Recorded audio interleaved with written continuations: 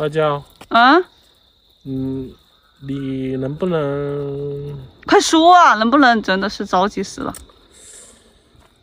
你能不能嫁到我家来？你怎么问这么奇怪的问题了？不是说好了吗？不是什么都说好了吗？我们才相亲成功的吗？怎么了？你有事可以跟我说，可以一起商量解决的。没有什么商量的，我觉得，芭蕉，啊，我就是不想做上门女婿了。那你提前跟你父母打好招呼了吗？有跟我商量了吗？我我父母还不知道，嗯，就是我我哥跟我说了很多，又是你哥，怎么又是你哥？你哥说什么了？怎么说的？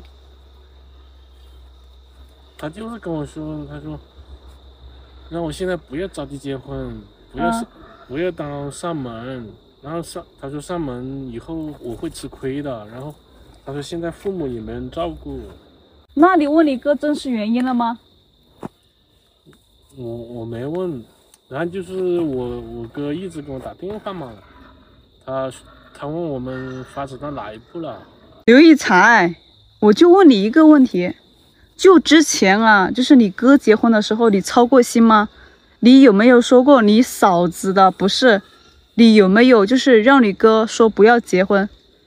我记得我哥那时候结婚，我那时候高兴的不得了，然后我还给他包了一个大红包嘞，大红包多少？哦一万二。一万二。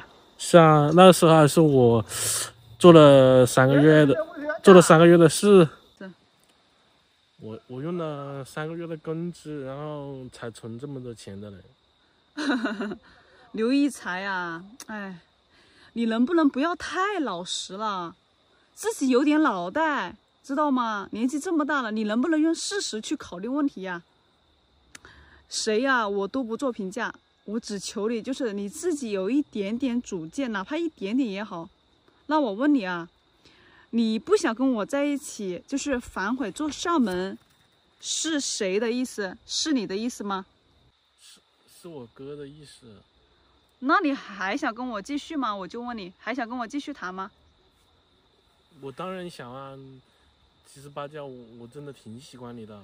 嗯，你挺喜欢我的，对吧？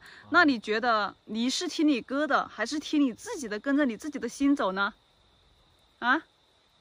你觉得呢？虽然你们就是有着很亲的血缘关系，对不对？这断不了，没法改的。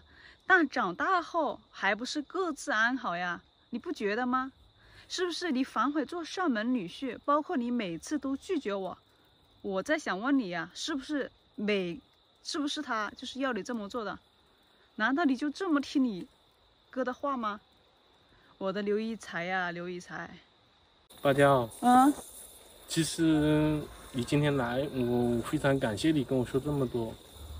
我我刚才我其实我也我也想了，嗯，我确实你就是感觉都是听别人的，自己没什么主见。所以嘛，你以后做事主见一点嘛。要是我不提醒你，我不跟你解释这么多，你能想到哪里去呢？你你心里长那么一点点心嘛，是不是？给自己留一点点心嘛。这次我就当你开玩笑，我不难过，也不跟你计较。但是你下次不要再跟我这样子说了。如果说我提醒了你，你还这样子说，我真的会生气的。听到没有？是嗯，那你那你不生气了？我不生气，这次我不生气，下次我肯定会生气。